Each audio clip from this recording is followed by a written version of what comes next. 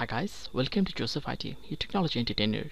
Today I'll be showing you how to use the latest TeraCopy 3.26 properly in your system. So be with Joseph IT.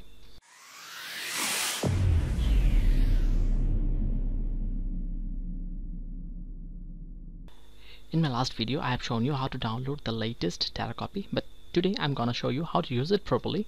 So I'm opening TeraCopy first this is the latest look of TeraCopy 3.26 there are some new functions which you may not be aware.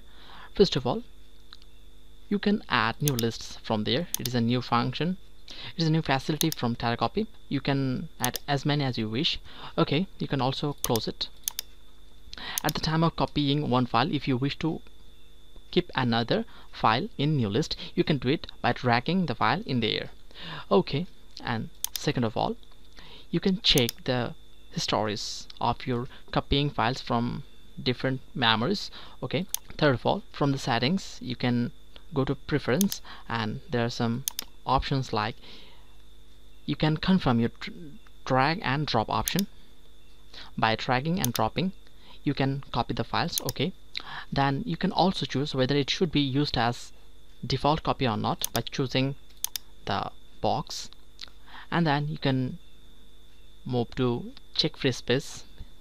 TeraCopy will automatically check your free space and will inform you whether it should be copied fully or not. And then always on top. This checkbox allows you to keep TeraCopy always on top of all the screen all the windows. If you uncheck it your TeraCopy will not be on the top. And then you can also check large progress bar. The progress bar will be larger. And then which I like a sound will be played after successfully copying your files. Okay and then if you go to the corner right corner click on on finish there are some simple things.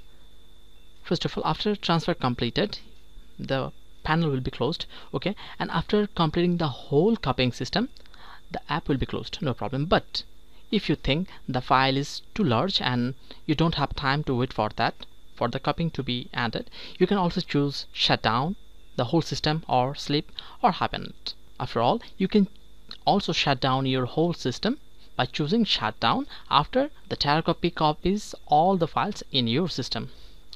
And this is the latest TeraCopy 3.26 with new interactive functions. And I hope you enjoyed it and will benefit you more. And lastly if you found this video useful then please don't forget to like comment and subscribe to this channel of Joseph IT see you in my next video tutorial. Until then goodbye